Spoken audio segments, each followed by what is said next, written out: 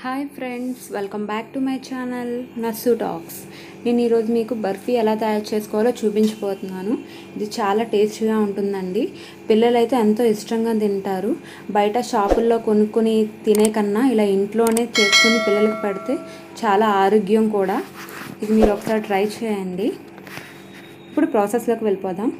నేను ఒక కప్పు మైదా పిండి తీసుకుంటున్నాను. ఇది చిన్న మంట మీద ఫ్రై చేసుకోవాలి. పచ్చివాసన పోయినంత వరకు ఫ్రై చేసుకోవాలి.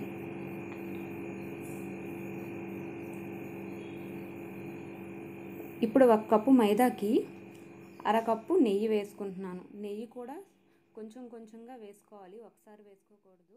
కొంచెం కొంచెం వేసుకొని కలుపుతూ ఉండాలి.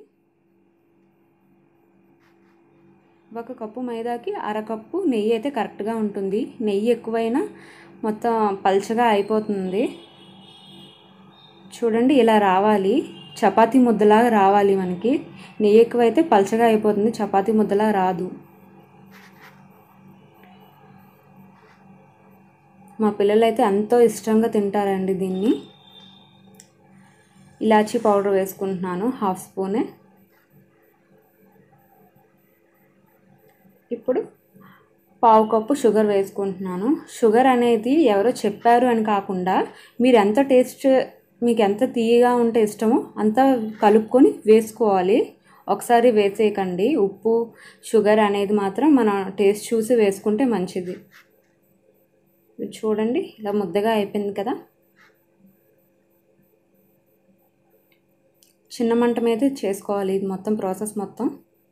ఇప్పుడు చేతితో కొంచెం చల్లగా అయిపోయిన తర్వాత స్టవ్ ఆఫ్ చేసుకొని కొంచెం చల్లగా అయిపోయిన తర్వాత ఇలా చపాతీ ముద్దలాగా కొంచెం కలుపుకొని రెండు పార్ట్స్గా డివైడ్ చేసుకున్నాను నేను.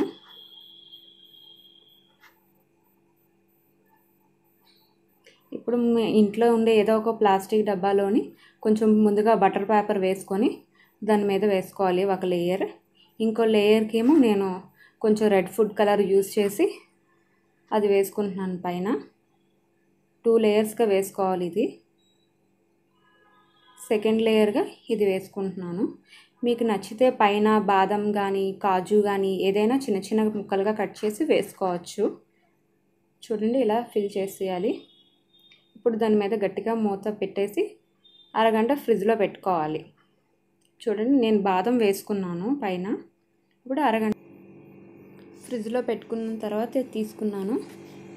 చూడండి గట్టిగా అయింది కదా.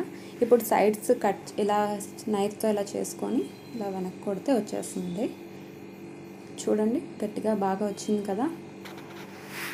ఇప్పుడు వెనక్కి పెట్టిన బటర్ పేపర్ తీసేయాలి. ఇది చాలా టేస్టీగా ఉంటుందండి. పిల్లలు అయితే ఎంతో ఇష్టంగా తింటారు. ఒకసారి ట్రై చేయండి.